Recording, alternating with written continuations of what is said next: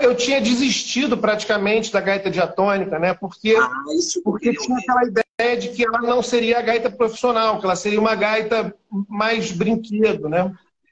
E aí, quando eu, quando eu percebi que eu, que, eu, que eu talvez conseguiria romper aquela barreira da tal da sexta posição, eu falei, poxa, nasci para isso, né? A minha missão é essa, então, a, a, então eu vou fazer esse negócio. E aí, e aí, com os estudos de música, eu fui vendo que as 12 posições, na verdade, elas não existem, que tem um, tem um papo furado nisso aí. É porque, por exemplo, segunda posição seria Sol na gaita em Dó. Mas tá, mas qual sol? Que sol é esse? Que...